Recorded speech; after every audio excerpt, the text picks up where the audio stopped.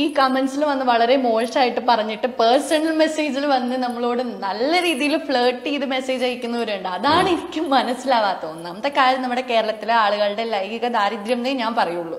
Because എനിക്ക് വരുന്ന കമന്റ്സുകൾ മുഴുവൻ അത് വിത്ത് എലോങ് സ്ത്രീകളാണ് പറയുന്നത്. ഞാൻ എന്റെ ശരീരത്തിൽ ഞാൻ കോൺഫിഡന്റ് ആണ്. ഞാൻ സി ഞാൻ ഈ റീൽസ് ചെയ്യുമ്പോഴും ഞാൻ ചെയ്തത് റീസെന്റ് ആയിട്ട് ചെയ്ത ചെയ്തതിലാണ് മേക്കപ്പോട് കൂടി ചെയ്തത്. ബാക്കിയെല്ലാം വിത്തൗട്ട് മേക്കപ്പ് സി. ഞാൻ എന്നെ തന്നെ നാച്ചുറൽ ആയി കാണിക്കാൻ ആഗ്രഹിക്കുന്നു. അതിൽ നമ്മൾ സ്വന്തം ശരീരത്തിൽ കോൺഫിഡന്റ് ആയിട്ടിരിക്കുക അതാണ് ഞാൻ ഉദ്ദേശിക്കുന്നത്. സി നമ്മൾ നമ്മുടെ ബോഡിയിൽ അത് കോൺഫിഡന്റ് ആയിട്ടിരിക്കുക. അപ്പൊ ആളുകൾ വന്നിട്ട് പറയുന്നത് എലോങ് സ്ത്രീകളാണ് ഏറ്റവും കൂടുതൽ പറയുന്നത്. അതാണ് നമുക്ക് ആക്സെപ്റ്റ് ചെയ്യാൻ പറ്റാത്ത കാര്യങ്ങൾ അത് ഇപ്പം ഞാൻ എന്റെ ഇൻസ്റ്റഗ്രാമിൽ കമന്റ്സ് ഓഫ് ആക്കിയാലും ഇത് വേറെ സ്ഥലത്ത് പോസ്റ്റ് ചെയ്യുമല്ലോ വേറെ എഫ് പിയിലായിക്കോട്ടെ അവിടെയൊക്കെ വന്ന് കമന്റ്സ് ചെയ്യുന്നത് വായിക്കാൻ പോലും കൊള്ളാത്താണ് കമന്റ് ചെയ്യുന്നുണ്ട്. അത് വിട്ടു.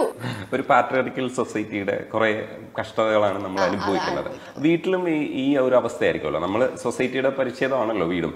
അപ്പം അവിടുത്തെ ഒരു സമീപനം എന്താണ്? ഇപ്പം ഈ അവസ്ഥ വരെ എത്തിയല്ലോ. അപ്പം കുറച്ചുകൂടെ കൂടുതൽ നേരിടേണ്ടി വരുന്ന ഒരു അവസ്ഥയിലേക്ക് പോവാണ്. സിനിമ എന്ന് പറഞ്ഞു തുടങ്ങിയിട്ടുണ്ട്.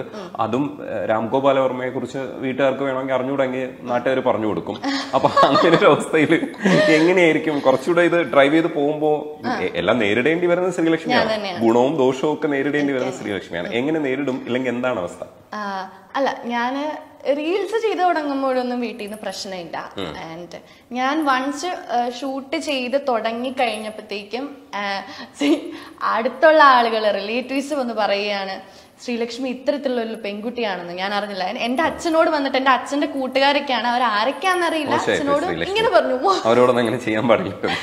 അല്ല എനിക്ക് ഞാൻ അവരോടൊന്നും തിരിച്ചു പറഞ്ഞില്ല.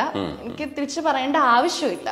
ബിക്കോസ് ഇത് എന്റെ ലൈഫാണ് സി നമുക്ക് ആളുകളെ ചേഞ്ച് ചെയ്യാൻ പറ്റില്ല. കാരണം അവർ വളർന്നു വന്ന ചുറ്റുപാട് അവരുടെ സർക്കംസ്റ്റൻസ് അതാണ് അവരെ ആ വ്യക്തിയെ അങ്ങനെയാണ് മാറ്റിയിരിക്കുന്നത്. അത് നമുക്ക് മാറ്റാൻ പറ്റുള്ളൂ നമ്മൾ എങ്ങനെയാണോ നമ്മൾ അങ്ങനെ ഇരിക്കുക. ആളുകളെ നമ്മൾ മാറ്റാൻ പോവാതിരിക്കുന്നതാണ് നല്ലത്.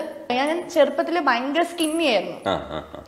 ഞാനൊരു പ്ലസ് വൺ പ്ലസ് ടു ആയപ്പോഴാണ് ഒന്ന് കുറച്ചൊക്കെ തടിച്ചു വന്നത്.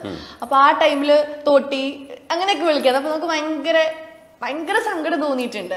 പക്ഷെ ഇപ്പോ ഞാൻ ഏറ്റവും കോൺഫിഡന്റ് ആയിട്ടുള്ളത് എന്റെ ഫീച്ചേഴ്സിലാണ് സി എന്നെ യുണീക്ക് ആക്കുന്നത് എന്റെ ഫീച്ചേഴ്സ് ആണ്. അതിപ്പോ ഞാനെന്നല്ല ഏതൊരു വ്യക്തി ആയിക്കോട്ടെ നമുക്ക് തന്നിരിക്കുന്ന ഫീച്ചേഴ്സിൽ നമ്മൾ കോൺഫിഡന്റ് ആയിട്ടിരിക്കുക. ക്യാമ്പസിലൊക്കെ എങ്ങനെയാണ്? എല്ലാവരും വന്നിട്ട്? ഇപ്പം എന്തായാലും അഭ്യർത്ഥനയെ കുറിച്ച് ഞാൻ ചോദിക്കുന്നില്ല. ഇപ്പൊ തെരുതര വരുന്നുണ്ടാവും. അതിന്റെ തൊട്ട് മുമ്പുള്ള ഒരു അവസ്ഥ പറയും. ഞാൻ ഡിഗ്രി ചെയ്ത സി എം എസ് കോളേജിലാണ്. B S C chemistry. അപ്പോൾ അതിൽ കൊറോണ കാലഘട്ടമായിരുന്നല്ലോ ഞാൻ പഠിച്ച two thousand nineteen two thousand twenty two batch അപ്പൊ അതിൽ പകുതിയും സങ്കടമായി പോയി. പോട്ടെ. അങ്ങനെ അത് കുഴപ്പമില്ല. നമുക്ക് ഇനി പൊളിക്കാം.